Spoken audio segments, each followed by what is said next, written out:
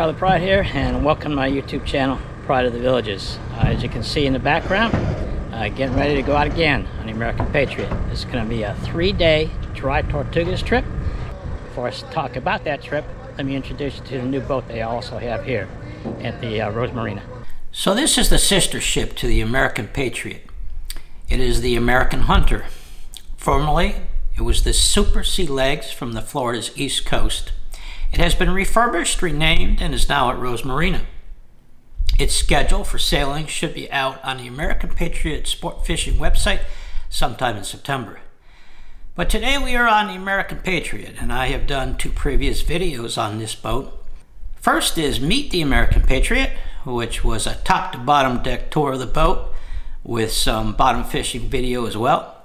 Second was a video on fishing Pulley Ridge, uh, doing some deep dropping with electric reels. Well, there will be no deep dropping on this trip as we will be fishing north and west of the dry Tortugas in about 200 feet of water.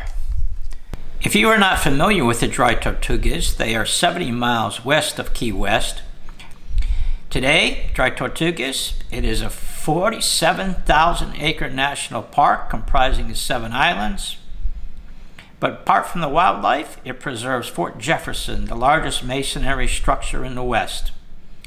The area is one of the most reliable places in the world for mutton snapper fishing.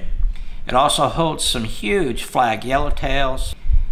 And we are at the end of the red snapper season, so hopefully we'll be able to get that snapper as well.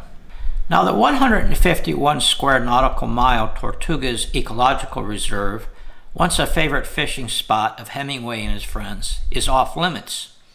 Due to these restrictions and regulations, these waters are heavily monitored by Fish and Game. Going with a deep sea fishing charter who knows where to fish, has the right equipment and necessary licenses, understands the rules and bag limits, can end up saving you serious penalties and fines. That's why I am today on the American Patriot. So starting our journey at Rose Marina on Marco Island, it's time to load the boat.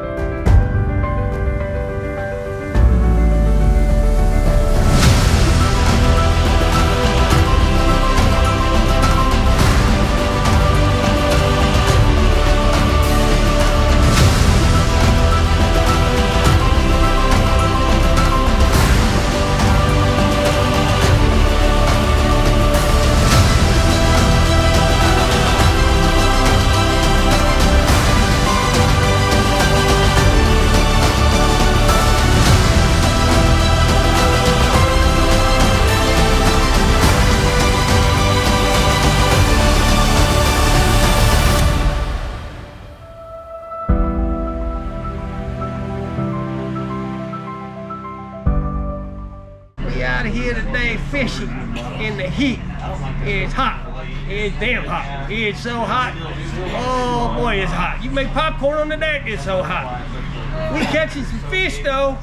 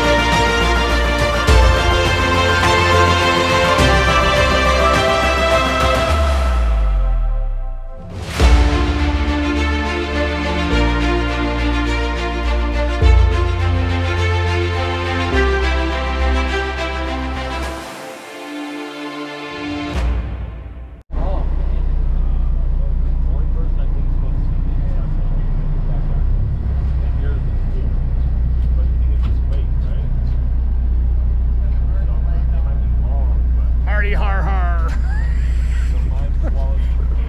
Instead of a instead of a parrot, Bill has a finch. So after dinner, there was a few more drops, and at 11 p.m., it was time to head home, 100 miles. On the way in, we had time to reflect on the fish that we caught and the ones that got away. Special thanks to Chef Mike, who served up some great meals. Thanks to Captain Ralph for putting us on the fish, and the mates who worked tirelessly on the deck. After docking, we unloaded our personal gear, and the mates started to unload the fish that goes on this tarp with a bed of ice. Once all the fish are off the boat, pictures are taken and the fish are called out by tag number. 21, 21, 28. 28. One was you guys, yeah? There's one. Six. Three. Nice. Big wave. Good God. 15. Yeah. Pool winners are determined, and Bob's Gag took the grouper pool and the biggest fish pool at 19 pounds. If you would like your fish cleaned, the mates will oblige at a reasonable cost. During cleaning, the egrets, pelicans, and these 200 pound tarpon get some snacks. Bill the bird whisperer was on hand to provide advice to his team. So I had a great time fishing with five guys that we have been conducting multi-day trips in the Gulf of Mexico for 14 years and hopefully will continue to do so again. So check out the American Patriot or the American Hunter for your fishing adventures. I'm Charlie Pryde, and this is my YouTube channel, Pryde of the Villages. We'll see you on the next fishing adventure.